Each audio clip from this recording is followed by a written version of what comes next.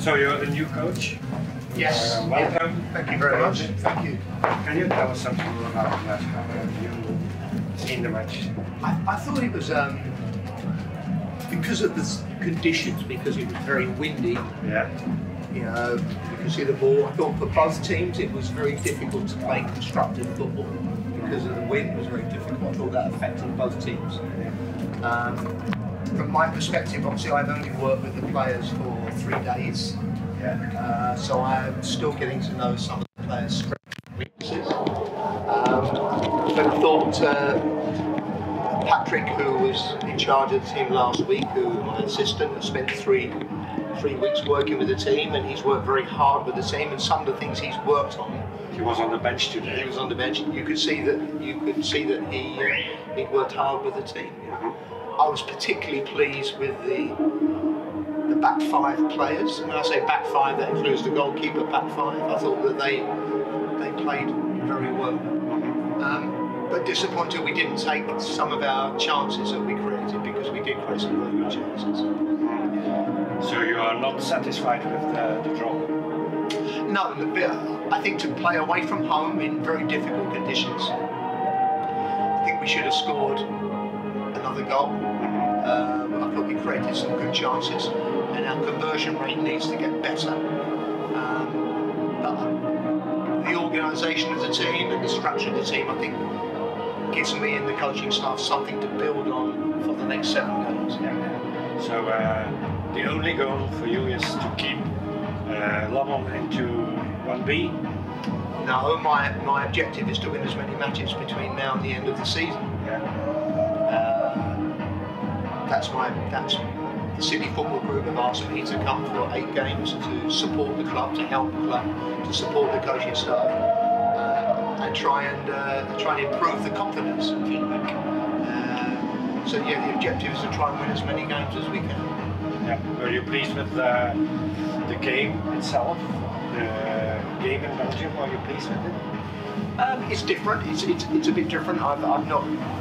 I've been to Belgium many times. You know, I work as a national coach with English FA, so I played against Belgium and things like that. But uh, it, it's difficult to judge the standard because the weather conditions were so bad today.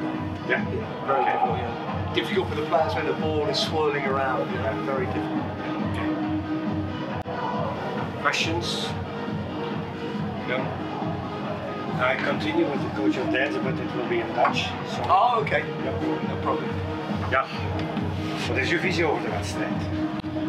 Eh, elf keer gelijk gespeeld. Uh, waaronder van die elf keer hebben we twee keer eh, een vrij voldaan gevoel gehad. Dus twee keer een gevoel gehad dat we dat aanvoelt als een overwinning.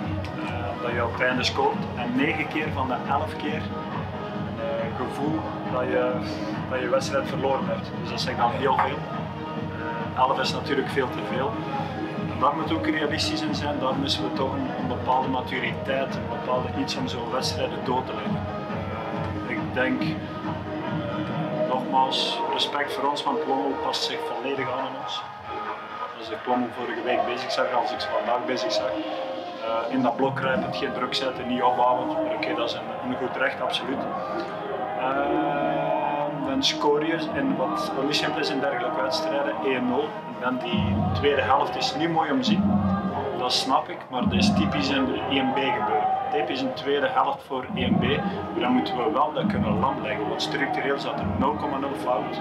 Eh, alles zat vrij correct. Ze creëren niets, enkel creëren ze soms dat wij hen iets toeleggen of dat wij hen die kansen bij wijze van spreken geven. En daar is iets waar deze groep nu verder in moet doorgroeien. Uh, wij moeten gewoon ja, zo'n wedstrijd lam leggen en dat wordt beslist in beide boksen. We geven niet veel weg. Ik denk ja, met Tom daar die kans dat Tom daar uh, in de voeten speelt, dat wil ik zeggen, dat komt dan ook door ons eigen. En die tweede doelpunt moeten we veel secuur, of een doelpunt, moeten we veel secuurder in verdedigen. Moeten we veel meer het metier beschikken van, van hoe daarmee om te gaan.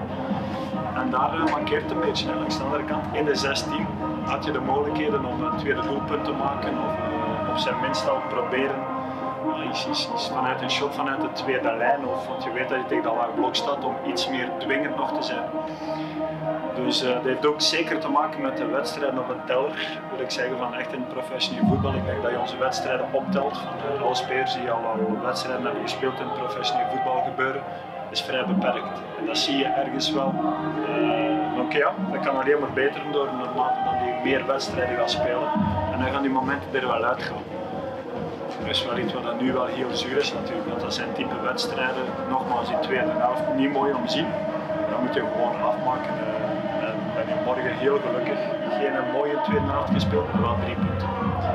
En dat is nu toch al veel te veel voor het goede dat we dat daar wel ja. Uh, het weer zal toch ongetwijfeld ook een rol gespeeld hebben, denk ik. Uh, wellicht wel, zeker. Dat is voor beide ploegen.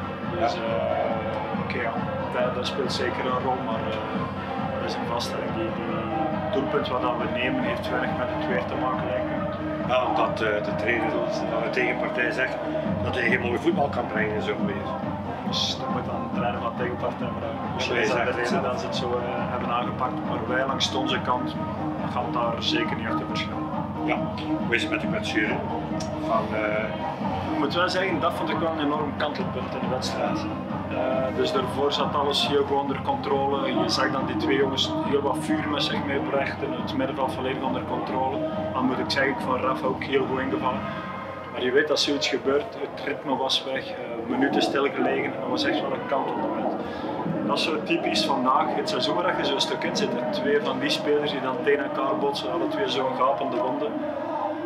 Dan mag je geen risico nemen natuurlijk met een hoofdwonde, dan moet je, dan moet je Liam uh, uit voorzorg aan de kant laten. Uh, de vervanging, maar dat zijn van die momenten dan die op dit moment jammer genoeg al hebben we veel zo'n momenten natuurlijk. Oké. Was het doelpunt geïllustreerd in Leuven op de? Ja. Dat lijkt toch wel zo gewerkt op basis van de beelden, dat je daar ruimte had. Ja, ja, ja. Ja, dat is inderdaad, uh, je zag de mogelijkheid daar en dat is gebleken. Ja, we proberen iedere week wel iets dergelijks voor te bereiden, maar dat is niet altijd dat dat natuurlijk uitkomt of valt. Dus uh, dat maakt het natuurlijk des te mooier. Maar dat zijn momenten, als je die wedstrijd kunt winnen en je hebt drie punten, dan, dan, dan, dan, dan die invloed in die groep, dergelijke dingen, dat groeit dat, groeit dat, groeit dat nog, het vertrouwen, noem maar op. En nu wordt dat, telkens wordt dat terug een beetje afgeremd door ja, die vele gelijke spelen en dat maakt het jammer. Volgens tweede door te weinig initiatief. Dat bewust? Is dat niet, maar het is gewoon een gevolg van het verleden wat dat al geweest is. Kruipt in een groep, maar nogmaals, structureel zat er iets fout. Het is niet tactisch dat je daar iets moest bijsturen. Daarmee ook vrij lang gewacht met de vervangingen, omdat je gewoon, ik had er al twee gedaan, had nog maar één vervangmoment. We wachten op de tegenpartij tot dan die iets beginnen doen. Maar uh, daar zat structureel niets fout. Is de vervanger omwille van zijn lichaamd? Nee, hoofd. Dat is een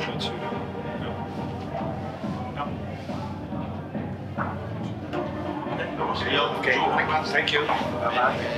Ah, bonsoir, bienvenue. Racontez-nous un peu du match. Comment est-ce que vous avez vécu le match? Euh, Première mi-temps, on met le but assez vite. Euh, on a la maîtrise du match. Euh, voilà, après deuxième mi-temps, euh, on, est, on, est, venu pour mettre le second goal. Malheureusement, le temps est passé, on n'a pas réussi à marquer et on se fait punir à la fin du match. Donc on est, est déçus aujourd'hui. Beaucoup déçus, oui. Ouais, grosse déception. Oui, oui, oui. Et la match de vous-même, vous êtes content Ouais, je suis content. Mais comme on n'a pas gagné, euh, ça, ça, enlève euh, la performance. Est-ce que le vent et le temps vous avez énervé bah, Le vent, c'est pour les deux équipes. Oui. Euh, voilà, on a, on a fait avec. on avait la maîtrise du match, on avait les occasions on n'a pas réussi à gagner, on est déçus aujourd'hui. C'est pas à cause du vent ou du temps. Normalement, vous, vous faites des, des buts magnifiques aujourd'hui, non? Pardon. Normalement, vous, vous faites des buts magnifiques. Mais aujourd'hui, pas d'occasion Ouais, j'ai eu une occasion en première mi-temps. Malheureusement, le gardien il a, il a arrêté. Euh, voilà, on est déçus aujourd'hui, on est déçus. Oui. Qu'est-ce qui se passe la deux- deuxième mi-temps? Parce qu'il n'y a pas beaucoup d'occasions. La deuxième mi-temps, qu'est-ce qui se passe? Non, il se passe rien. On, est, on, voulait jouer, on voulait jouer notre jeu, les presser haut comme en première mi-temps malheureusement, on n'a pas, pas eu, on n'a pas mis les occasions, on ne les a pas aussi créées.